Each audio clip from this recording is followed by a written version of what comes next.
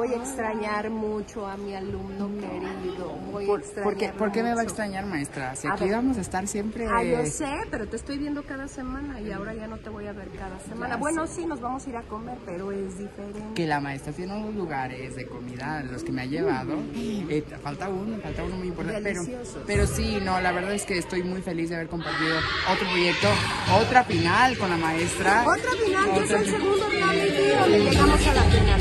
Y le agradezco muchísimo todo, maestra, por cada aprendizaje, por cada lección, por cada consejo, por siempre estar. Muchas gracias. Y siempre estaré, siempre estaré. porque a mi alumno que tiene esa luz tremenda, pues hay que saberlo guiar. Y siempre